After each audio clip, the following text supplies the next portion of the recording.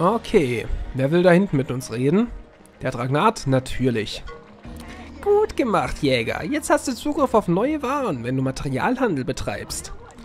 Auch meine Kollegen sind mit der Abmachung hochzufrieden. Sie bekommen, was sie wollen und du bekommst, was du willst. So sind alle glücklich. Hehe, zennifachen Dank, zennifachen Dank. Dann schauen wir mal, was haben wir denn hier jetzt? Sandbareth gegen Zinogre. Okay, wobei Sandbareth jetzt nicht so mega ist. Ich dachte, da gibt es noch mehr. Vielleicht gibt es noch mehr, bloß wir bekommen es gerade noch nicht. Weil wir dafür die nötigen Sachen noch nicht haben. Keine Ahnung. So, zumindest machen wir jetzt weiter mit dem Yangaruga. Den würde ich jetzt ganz gerne noch äh, umlegen. Da ist jetzt aber wirklich bloß die Frage, was hat der für eine Schwäche? Keine Ahnung, ich weiß es nicht mehr. Wasser? Ich glaube Drache nicht. Hm, ich darf ihn jetzt bloß nicht überspringen. Garuga. Tatsächlich Wasser. Wasser und Eis. Okay, dann nehmen wir doch gleich wieder die Wasserwaffe. Die ist da wohl am sinnvollsten. Äh, viel weglegen müssen wir ja, glaube ich, gar nicht. Oder umlegen. Da war, ja genau, da wir nicht allzu viel verbraucht haben. Zack. Dämonenmittel behalten wir mal so. Jan Garuk kommt im Immerwald. Er macht aber auf jeden Fall Gift. Ich sollte vielleicht mal das ganze andere Zeug wegschmeißen. Das, das, das und das. Nullbären, er macht Feuer, können wir mal behalten. Wettsteine, Dungbomben behalten wir einfach auch mal. Farbbälle nehmen wir mit, weil er fliegen kann. Ähm, dann will ich gleich mal eine Falle mitnehmen. Ach verdammt, Fallengeräte. Na gut, kaufen wir uns kurz ein paar. Äh, ich will ihn ganz gerne wieder fangen, weil auch den... Auch den brauche ich ja für meine Rüstung. Oh, zum halben Preis. Zählt das auch für Fallengeräte? Wunderbar. Dann kaufen wir doch gleich ein paar mehr. 20 Stück sollten vorerst mal reichen. Genau. Okay.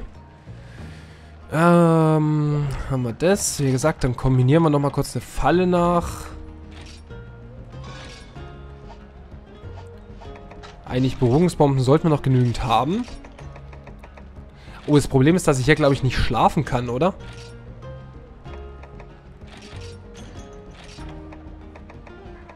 Es waren Blitzkäfer. Wie gesagt, ich hasse das. Das nie Donnerkäfer. Ich hasse das, dass, beide, dass es beide Käfer gibt. So weiß man nie wirklich, welchen Käfer man denn jetzt braucht. Wo sind die Käfer? Ach, da. Okay, viele Anwendungsmöglichkeiten ist der, ist der richtige. Gut. So. Wie gesagt, falls er keinen Schlafplatz hat, können wir es mal so machen. Energy Drink kann weg. Den Rest haben wir eigentlich soweit. Ja, ich denke schon. Dann essen wir noch mal kurz und dann passt es schon. Dann erlegen wir noch den Yengaruga. Und 1A. Okay. Schauen wir mal. Wäre jetzt natürlich echt schön, wenn wir, ja, wenn wir den dann gescheit erjagen könnten und aus denen dann die richtige Rüstung machen. Ich bin doch sehr gespannt. Ich bin vor allem sehr gespannt, was er dann jetzt so alles drauf kann. Stellvert oder was er so drauf hat. Stellvertretende Jagd. Äh, ich denke, wir haben soweit alles. Die neuen Gegengifte reichen hoffentlich auch. In den Außenbezirken von Dondorma soll ein Yangaruga aufgetaucht sein. Ich würde ihn gern meine Klinge schmecken lassen, aber äh, ich habe Wachendienst, okay. Achso, stimmt, hier kann man sich ja auch ein ähm, bisschen, bisschen was einteilen. Das ist natürlich gar nicht verkehrt. Und ein bisschen was mitnehmen. Dafür haben wir hier aber stimmt gar keine Möglichkeit, ihn wirklich zu farbballen. Das ist ja das Problem. Da gab es, glaube ich, bloß Fackeln oder sowas. Hier gibt es nochmal was. Oh, und noch mehr Erste Hilfearzneien. Wunderbar. Damit können wir jetzt ja einiges durchleben. Na gut. Oh, stimmt ja. Das sind die Sandgebiete jetzt im High Rank. Das ist cool. Ich finde es so cool, diese Gebiete. Diese Sand- und Höhlengebiete sind richtig, richtig schön geworden. Der Immerwald normalerweise war ja so ein bisschen standardmäßig, so ein bisschen waldmäßig. Als wirklich diese Höhlen, echt wunderschön. Davon hätte ich echt gern ein richtiges Gebiet gesehen. So sandige Kristallhöhlen, das wäre wirklich mal was komplett anderes gewesen. Statt einfach bloß wie eine Wüste oder sowas. Dann wirklich, ja, so eine Kristallhöhle oder sowas. So ein bisschen, ja, außerhalb denken. Nicht so diese Standardsachen. Da war die Hohlsenke ja schon ganz schön. Hallöchen. Da war die Hohlsenke ja eigentlich schon ziemlich schön, aber die haben sie dann halt mit der Vulkanmulde vermasselt. Ähm, aber so an sich wäre es mal echt schön, da ein bisschen, ja, kreativere Sachen zu sehen. Oh, der ist gar nicht so klein. Der Garuga. Normalerweise sind die ja nicht ganz so groß. Oh Gott. Ich weiß jetzt schon wieder, wieso ich ihn nicht mag. Na, schauen wir mal, wie wir gegen ihn klarkommen. Wow, was? Wie viel Schaden er einfach macht. Oh Gott. Nein. Oh, wie lange war ich denn verwirrt? Schnell mal hier ein bisschen in Sicherheit gehen. Ich bin so gut wie tot. Wäre ich jetzt verwirrt gewesen, dann wäre ich sicherlich tot gewesen. Wow, wie ich bloß Tränke im ganzen Inventar habe. Nicht da durchbrechen. Gut. Das ist wahrscheinlich bloß eine Gegengiftröte. Ne, gar nicht mal. Sehr schön.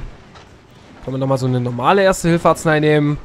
Aber der legt schon ziemlich gut los, muss man sagen. ja, komm mal ein bisschen ran. Reicht das? Ne, leider nicht. So, und schnell weg. Oh Gott. Ich habe leider auch vergessen... Oh nein, au, okay. Aber das macht halt viel Verwirrungsschaden. Das ist das Problem. Mit seinem Schnabel. Ja. Das verwirrt ziemlich, ziemlich schnell. Schnell mal da hoch. Und jetzt drauf. Na also. Schlag Nummer 1 haben wir.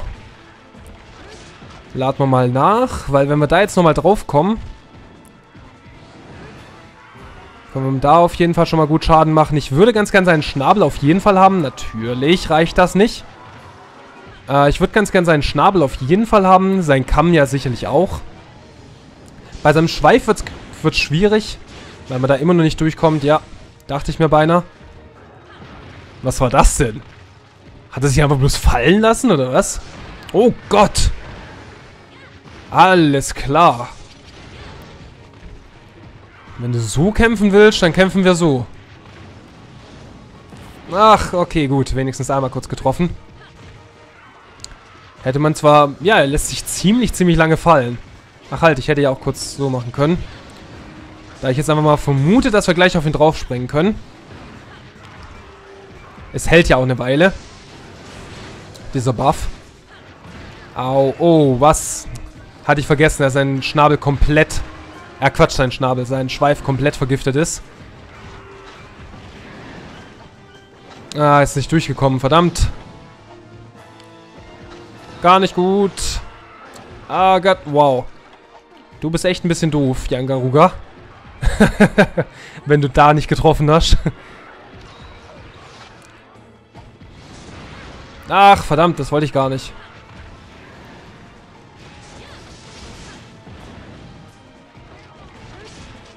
Wieso ist er denn jetzt hier oben? Nächste Frage. So, danke. Was? Das hat nicht getroffen. Oh, gut, dann mache ich es halt so. Echt, da komme ich jetzt nicht durch? Ach, verdammt normal. Ach, Giangaruga, wieso bist du so gepanzert? Ich hasse das. Ich hasse das einfach. Es ist das Allerschlimmste. Oh Gott. Ja, das ist auch so krass. Vor allem, er schießt halt nicht wie äh, wie eine Ratian irgendwie gezielt, sondern er kann wirklich... Natürlich. Er kann einfach so übertreiben. Oh Gott.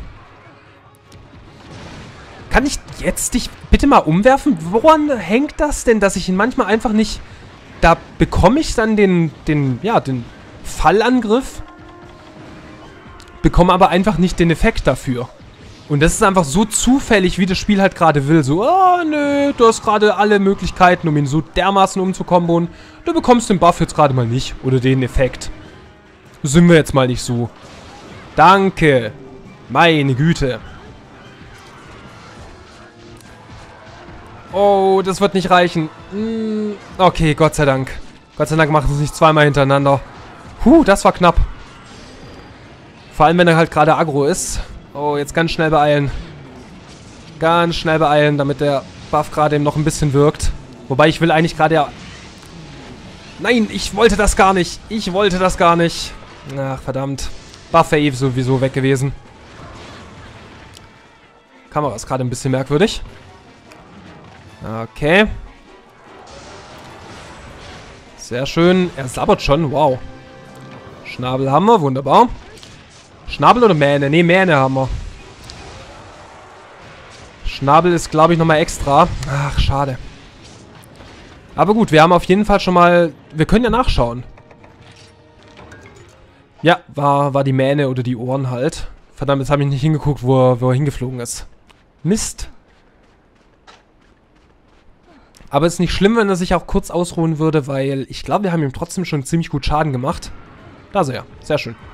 Ich glaube, wir haben ihm schon ziemlich gut Schaden gemacht. Ähm, aber haben noch nicht wirklich alles von ihm zerstört. Schnabel brauchen wir definitiv noch. Und Schweif wäre halt auch super. Nur wenn er gerade aggro ist, kann man eigentlich beides vergessen. Oh Gott. Hör auf damit. Hör auf damit. Es geht mir gerade ziemlich auf die Nerven hier an Garuga. Wow. die ganze Zeit ansprinten, reinhauen, ansprinten, reinhauen. Ja, genau das. Aber währenddessen kann ich dann immer ein, zwei Schläge auf seinen, ach, auf seinen Schnabel reinhauen. Weil, wie gesagt, ich glaube, wir sind gerade gar nicht schlecht dabei. Was den Schaden an ihm angeht. Wir haben da ein, zwei gute Kombos rausgehauen. Ich hasse das. Hör auf, Agro zu sein. Und das zu machen. Danke. Nee, doch nicht. er hört aber auch nicht damit auf. Okay, gut. Wenigstens diesmal nicht. Okay, jetzt ist er... Nee, nicht. Sah eigentlich so aus, als wäre er wieder normal. Dann ist es wieder mit dem Schweif. Oh, aber er ist wenigstens wieder normal. Obwohl er es immer noch kann. Tröte oder nicht Tröte? Ne, keine Tröte. Okay. Ah, jetzt kommst du mit deiner Tröte. Ich hoffe nicht, dass es eine Gegengift ist. Danke. Na, komm schon. Ich brauch bloß deinen Schnabel. Dann bin ich schon zufrieden. Dein Schweif, wie gesagt, wäre auch mega. Wenn wir ihn wirklich wieder komplett zerstören können. Aber, na, ich... Ich habe mal damit keine Hoffnung. So muss man sagen. Weil wirklich alles von ihm zu zerstören, ist echt eine... Ja, echt eine Qual. Voll in die Fresse. Sehr schön. Das war der Schnabel. Wunderbar. Ich bin mir nicht sicher, ob man den Schnabel nochmal anknacksen kann, eigentlich aber nicht. Das heißt, wir können uns jetzt ganz gemütlich um den Schweif kümmern. Und dann nochmal kräftig draufhauen. Wenn er dann noch überlebt. Weil es mit dem Schweif, glaube ich, eine halbe Ewigkeit dauern könnte. Oh, aber es ist so angenehm, wenn er wieder normal ist. Ihn umzuwerfen wäre natürlich auch nochmal super. Wie gesagt, das ist ein bisschen schwierig alles hier gerade. Ja, sehr schön. Zusammengezuckt immerhin. Jeder Abprallungsschaden macht ja auch Schaden im Schweif. Normalerweise zumindest sollte es. Okay, jetzt können wir es gerade eh vergessen. Weil jetzt hält er nicht wirklich lange still. Da müsste man jetzt, wenn dann schon, umwerfen. Damit muss ich echt noch klarkommen, dass er den Angriff macht. Das ist irgendwie so eine Sache... Man kann damit gut rechnen, weil das macht es ja wirklich ziemlich früh. Wenn man halt versucht, an ihm vorbeizukommen, dann ist es ein bisschen doof. Der tut da seinen, seinen Schweif so hin und her wackeln. Hat man keine Chance, da irgendwas zu bekommen. Okay, das Gegengift. Sehr schön. Nee, doch nicht. Also wahrscheinlich war es das Gegengift, nur ist nicht durchgekommen. Oh Gott. Okay, das war auf jeden Fall die große Heilung. Da nochmal eine kleine hinterher. Wunderbar. Ah, da nochmal ein Schlag auf den Schweif. Sehr schön. Jeder Schlag zählt gerade. Wie gesagt, ich will gerade eben bloß den Schweif haben. Alles andere ist mir eigentlich gerade egal. Oh, Gott sei Dank ist es wieder normal. So angenehm. Ja, wunderbar. Nochmal ein Treffer. Jeder Treffer zählt gerade. Könnte jeder der letzte sein. Wunderbar, das ist sehr, sehr schön. Weil da braucht er ziemlich lange, bis er... Naja, so viel dazu. Ich wollte gerade sagen, da braucht er eigentlich ziemlich lange, bis er wieder unten ist. ist aber nicht wirklich so. Ach, verdammt. Okay. Kann er so gleich kombinieren, wusste ich jetzt auch nicht. Er ist schon ziemlich häufig aggro. Dafür, dass ich ihm jetzt eigentlich gerade keinen richtigen Schaden mehr mache, sondern bloß auf den Schweif gehe. Wie ich es immer wieder vergesse. Es ist erstaunlich. Da kann ich ihn natürlich auch noch so angreifen, aber das macht er halt verdammt wunderbar. Sehr schön gemacht, Katze. Gleich mal aufschneiden. Ah, bloß eine Schuppe, aber wir haben... Wir haben ihn auf jeden Fall abgetrennt. Jetzt können wir weiter draufhauen. Wunderbar. Das könnte damit auch beinahe schon das Ende sein, weil wie gesagt, er ist schon ziemlich häufig aggro. Und ich denke, er ist auch so ein Monster, dass die schneller aggro werden, je schwächer sie sind. Nein, nein, nein, nein, nein. Wow, Glück gehabt. Ich hätte eigentlich gedacht, es trifft. Hm, war ja zu erwarten. Okay, und er flüchtet. In welche Richtung ist die Frage? Oder verschwindet er einfach? Bin ich mir jetzt gar nicht sicher im Immerwald. Okay, er verschwindet. Ich vermute einfach mal wieder zurück ins Sandgebiet. Ich glaube, in die Höhle geht er nicht. Ja, wunderbar. Den Garuga habe ich doch ziemlich gut raus, würde ich sagen. Okay, er sabbert. Wow. Perfekt. Perfekte Gelegenheit. Ich hoffe jetzt einfach bloß, dass es nicht wieder sofort aggro wird. Wie manche Viecher. War ja klar, dass du da wieder runterkommst. Achso, er frisst jetzt gleich Konchus. Stimmt. Aber noch sabbert er. Sehr schön. Da ihn aus der Luft zu holen, wäre jetzt natürlich auch nochmal eine klasse Sache. Und wir können auch so einfach weiter. So, wund oh, gleich nochmal hingelegt. Wunderbar. Da haue ich gleich nochmal die Combo raus. Wenn er in seinem Arsch nicht gepanzert wäre. Ist echt schlimm. Der, der Yangaruga, das war aber schon immer sein Problem, dass er gar nicht schlecht gepanzert ist. Also es ist natürlich immer schon sein Vorteil gewesen, ganz klar. Nur das Problem beim Jagen, dass er dafür eigentlich, dass er so ein kleines Vieh ist, schon eine ziemlich, ziemlich dicke Panzerung hat. Ah Gott, jetzt dreht er wieder komplett hohl. Das war gerade so angenehm. Hilfe, wie hat das denn noch getroffen? Ich dachte, unter ihm wären wir da wenigstens sicher, aber gut, er stampft auch ein bisschen auf. Verstehe ich schon. Wie viel Schaden das macht? Ich bin jetzt so gut wie tot. Toll. Okay. Da nochmal ein kleiner Erste-Hilfe-Arznei. Zack. Sehr schön. Und weiter geht's. Wie gesagt, ich denke ja, dass wir ihn beinahe haben sollten. Das war doof.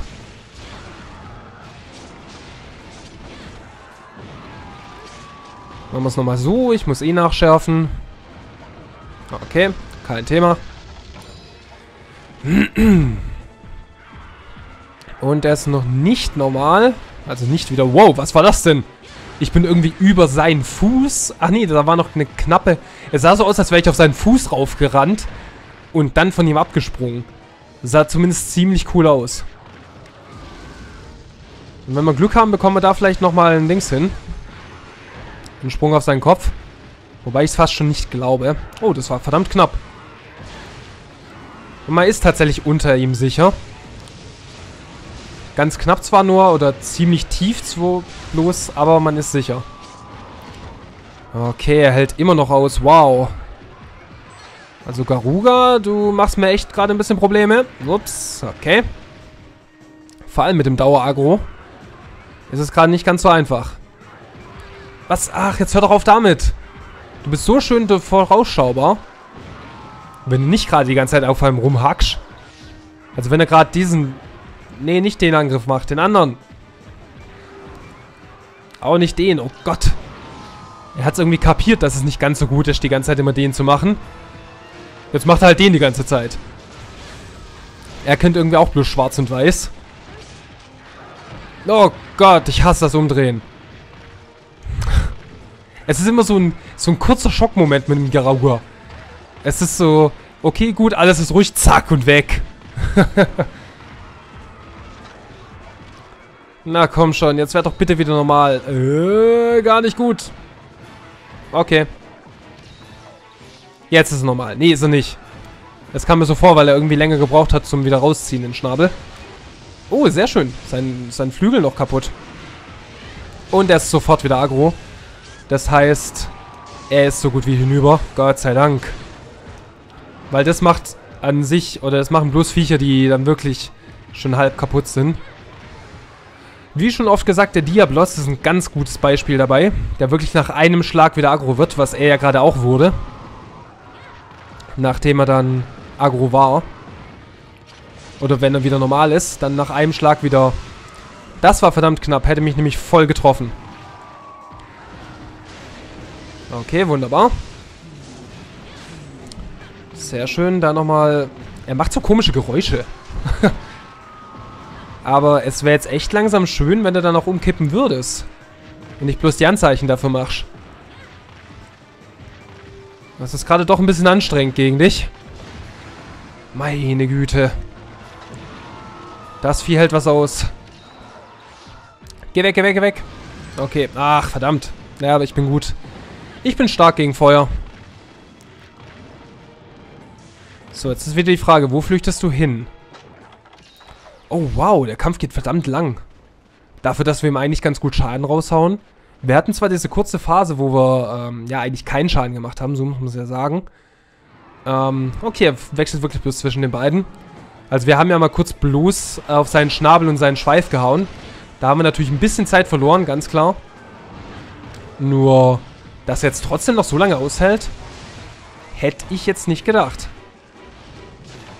Oh, wa was?